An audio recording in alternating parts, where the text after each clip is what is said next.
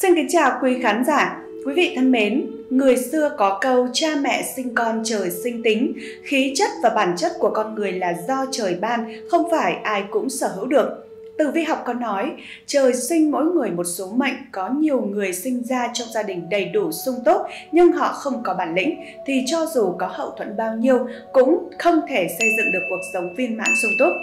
Tháng năm ghi lại thời điểm sinh ra rất diệu kỳ, có những thời điểm sinh ra tinh hoa đất trời hội tụ mạch khí cắt lành, hỗ trợ cho nên cuộc đời của nhiều mệnh chủ sung sướng an nhàn hơn người bình thường.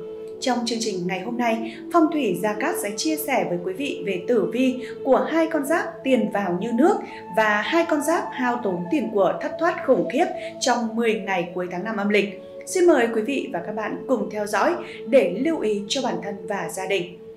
Tử vi của tuổi thân trong 10 ngày cuối tháng 5 âm lịch Chuyện tình cảm của tuổi thân khá là bình ổn, tuy nhiên tài lộc lại có dấu hiệu xuống dốc khá nghiêm trọng.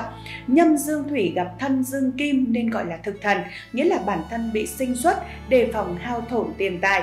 Người tuổi thân cần phải chú ý về phần tài chính trong tháng này, cần cân nhắc kỹ trước khi đầu tư giao dịch. Nhưng đây lại là một tháng tốt để tuổi thân phát triển về mảng nghệ thuật, y học, luật sư, cần chú ý nhiều về các mối quan hệ xung quanh mình cẩn trọng nếu không sẽ gặp phải những thị phi không đáng có, ảnh hưởng tới các mối quan hệ xung quanh mình. Trong tháng 5 âm lịch, tử vi phương Đông nhắc nhở tuổi thân cần phải thận trọng kẻo gặp họa tiểu nhân, công việc của bạn đang trên đà tiến triển tốt, vì thế mà có thể bị nhiều kẻ xấu nhòm ngó. Quý tinh trường sinh có thể giúp cho việc làm ăn của tuổi thân thuận lợi dễ dàng nhờ các mối quan hệ được mở rộng nhân duyên tốt, con giáp này được quý nhân tả phù chỉ lối dẫn đường, giảm bớt được vô khối những khúc đường vòng. Song có thể do bạn tiến quá nhanh khiến cho những kẻ tiểu nhân ganh tị đỏ mắt. Thiên cầu hung tinh nhập mệnh, con giáp này dễ bị tiểu nhân chơi xấu, bản mệnh cần phải thận trọng trong từng bước đi của mình, tránh việc bốc đồng sốc nổi hay chủ quan thiếu chỉn chu trong công việc. Nếu không, dễ bị tiểu nhân lợi dụng sơ hở mà lấy mất vị trí của mình. Về sự nghiệp của tuổi thân, Người tuổi này không có bước tiến rõ ràng trong khoảng thời gian vào tháng 5 âm lịch. Tuy nhiên, bạn sẽ phải tham gia vào nhiều buổi tiệc tùng tụ tập. Vì thế, cần phải giữ đầu óc tỉnh táo không để ảnh hưởng tới chất lượng công việc. Trong 10 ngày cuối tháng 5 âm lịch, tử vi phương Đông nhắc nhở tuổi thân cần phải thận trọng kẻo gặp họa tiểu nhân. Công việc đang trên đà tiến triển tốt, vì thế mà có thể bị nhiều kẻ xấu nhòm ngó. Quý tinh trường sinh có thể giúp việc làm ăn của tuổi thân thuận lợi dễ dàng nhờ các mối quan hệ được mở rộng. Nhân duyên tốt, con giáp này được quý nhân tả phù chỉ lối dẫn đường, giảm bớt được vô khối những khúc đường vòng. Song có thể do bạn tiến quá nhanh khiến cho những kẻ tiểu nhân ganh tị đỏ mắt thiên cầu hung tinh nhập mệnh, con giáp này dễ bị tiểu nhân chơi xấu, bản mệnh cần phải thận trọng từng bước đi của mình, tránh việc bốc đồng sốc nổi hay chủ quan thiếu chỉn chu trong công việc, nếu không dễ bị tiểu nhân lợi dụng sơ hở mà lấy mất vị trí của mình. Để may mắn thuận lợi hơn, những gia chủ tuổi thân nên mang bên mình pháp khí phong thủy, minh quang pháp bảo. Minh quang pháp bảo nếu mang bên mình sẽ là vật phẩm hỗ trợ tốt cho sức khỏe gia chủ, là vật phẩm hộ thân tăng cường vận khí, giúp gia chủ đón tài lộc, nhận được nhiều may mắn cả trên con đường tình duyên sự nghiệp. Về tài lộc của tuổi thân, Khoảng thời gian 10 ngày cuối tháng 5 âm lịch, bản mệnh cần phải tham gia nhiều các hoạt động tiệc tùng, xã giao nên chi tiêu tốn kém. Công việc ổn định nhưng mà chưa gặt hái được thành quả rõ ràng nên không có thêm các khoản thu nhập phụ. Chính vì vậy mà bản mệnh cần có kế hoạch chi tiêu hợp lý.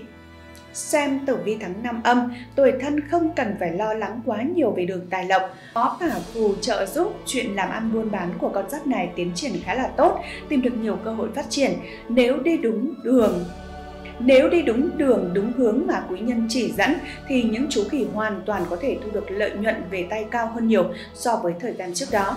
Thời điểm này cơ hội tài lộc khá nhiều, bản mệnh cần chú ý nắm bắt thời cơ, chớ nên để cho thời cơ trôi đi quá nhanh mà bản thân còn đang mù mờ về bước đường phía trước.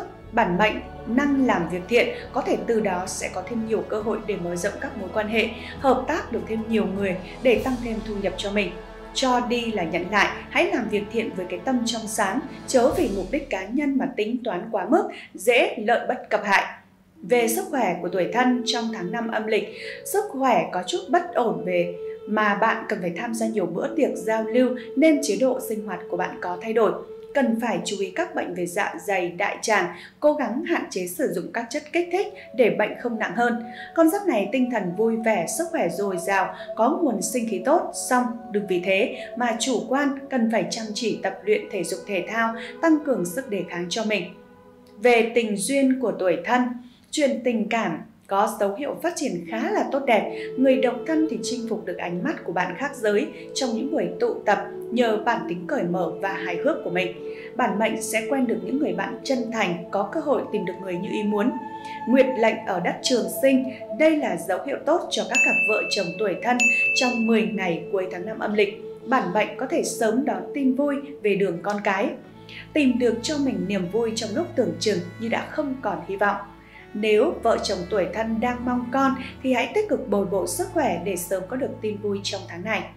Quý tinh trường sinh sẽ giúp cho bạn có thêm phúc lộc con cái. Nếu có thể hãy năng hành thiện tích đức cho bản thân mình.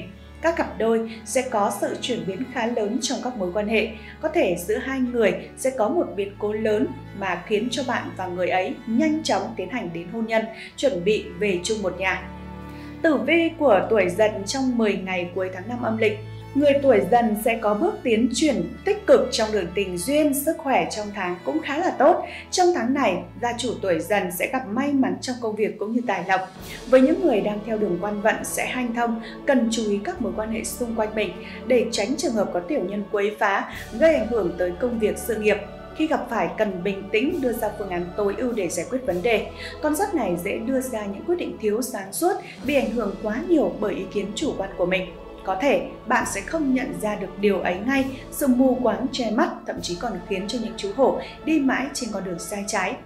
Về mặt sức khỏe, tuổi dần cần chú ý bồi dưỡng cơ thể nhiều hơn, đặc biệt cần tìm cách để giải tỏa căng thẳng tinh thần. Nếu chính bạn không biết thoát ra khỏi những áp lực vô hình thì có lẽ chẳng ai có thể giúp được bạn. Về sự nghiệp của tuổi dần trong tháng 5 âm lịch, công việc không được tốt cho lắm, sức khỏe, thể chất, tinh thần đều không được tốt khiến cho hiệu quả làm việc sụt giảm rõ rệt. Con giáp này bị ảnh hưởng của sao bệnh, bảo thủ, không chịu lắng nghe lời khuyên can của bất cứ ai, mà cứ việc mình làm, sai lầm ngày càng nhiều, khó có thể sửa chữa được, hậu quả không ai khác chính là bạn phải gánh chịu. Những chú hổ sẽ làm việc theo cảm tính bị ảnh hưởng bởi cảm xúc nên khó có thể tỉnh táo sáng suốt như bình thường, khó đạt được mục tiêu đề ra. Khả năng phối hợp làm việc cùng đồng nghiệp tuổi dần trong tháng này khá là kém. Khi làm việc một mình, bạn tự quyết tất cả nên không quen với việc phải thống nhất ý kiến với những người khác dễ thất vọng. Trong tháng năm này, những chú hổ chưa tìm được bước đột phá đáng kể nào trong vấn đề tài lộc.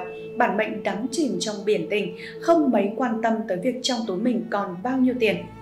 Về tài lộc của tuổi dần, trong tháng 5 âm lịch, những chú hổ chưa tìm được bước đột phá đáng kể nào trong vấn đề tài lộc.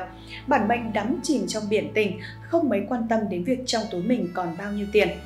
Còn người làm công ăn lương thì không được cấp trên đánh giá cao sau những sai sót mà bạn mắc phải, chẳng những cơ hội tăng lương thăng chức vụt mất mà còn có nguy cơ lấy tiền túi ra để đền bù cho những sai lầm của mình. Chưa hết, trong tháng này tình hình sức khỏe bất ổn, con giáp này dễ ốm yếu, phải mất một khoản chi phí nhất định. Cần biết cách tiết kiệm để phòng trừ những lúc túng thiếu như vậy. Để kích tài lộc, giữ tài lộc, bản mệnh cần mang theo bên mình vật phẩm phong thủy minh quang pháp bảo.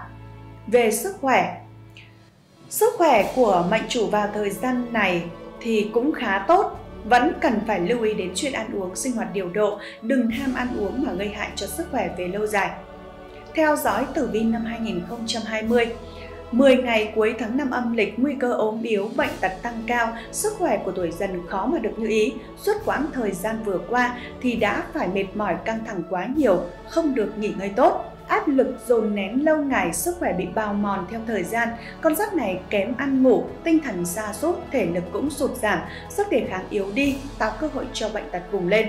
Hãy chú ý chăm sóc bản thân cho thật tốt, đừng tiếc rẻ công việc tiền bạc bởi khi sức khỏe không có thì những thứ kia cũng chỉ là phù du.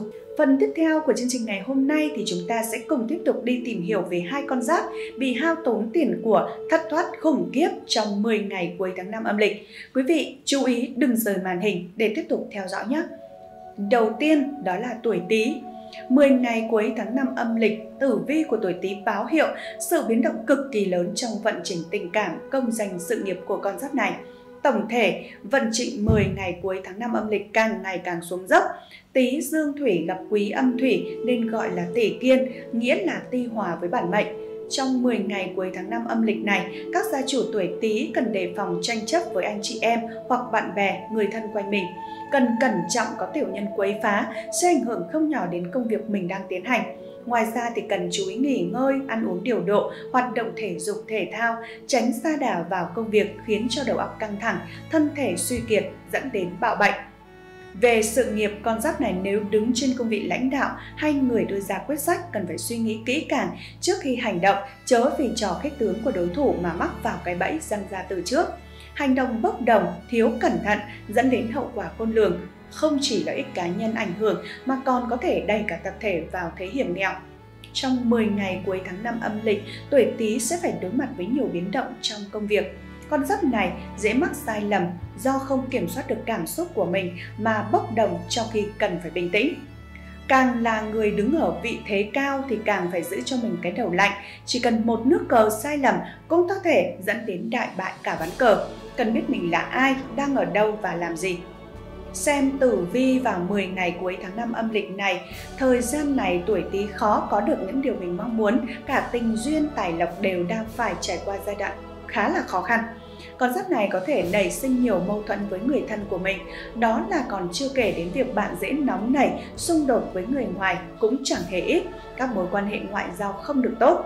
Điềm báo tử vi cho thấy những chú chuột gặp phải họa đại hao nên tiền bạc trong túi cứ thế không cánh mà bay nhất là khi mà con giáp này chẳng hề có tư tưởng tiết kiệm đề phòng cho tương lai mà kiếm được đồng nào giàu ngay đồng ấy.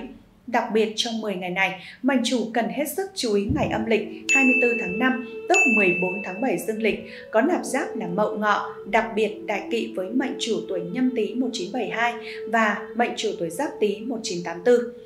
Vào ngày này, các gia chủ cần hết sức đề phòng tiểu nhân tìm cách quấy phá, thị phi không đâu ập tới. Cần tuyệt đối không nên khai trương cửa hàng, không nên tiến hành việc đại sự trong nhà. Nếu tiến hành vào tháng này, có thể gây ảnh hưởng đến những kết quả kinh doanh ngày sau. Nhìn chung, những gia chủ tuổi Tý không nên tiến hành công việc trọng đại, quan trọng vào thời gian này là tốt nhất.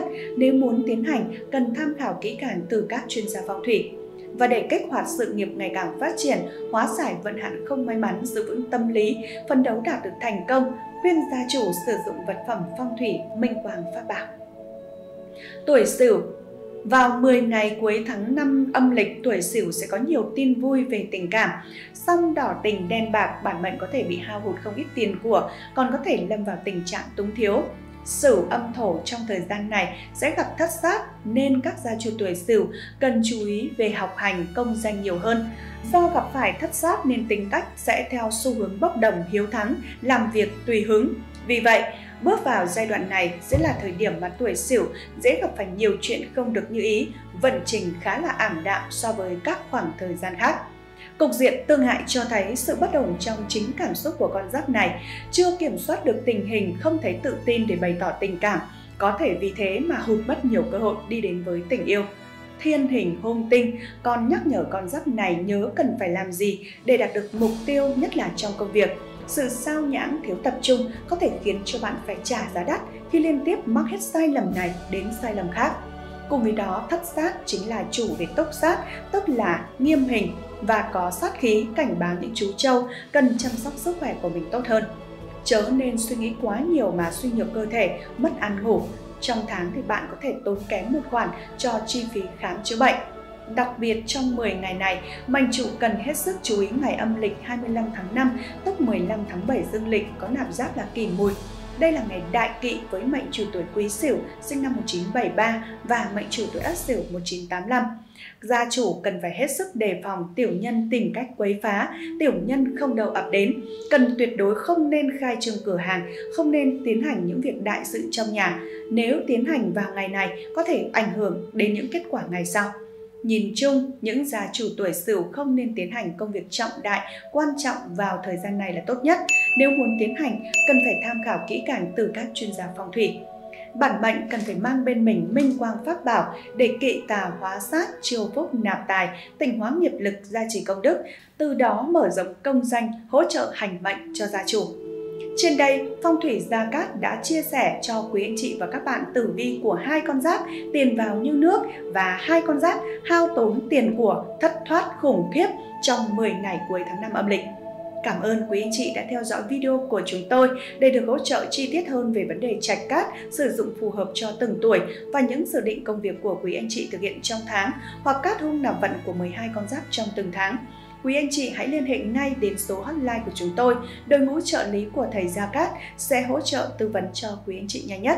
Hẹn gặp lại trong những video tiếp theo.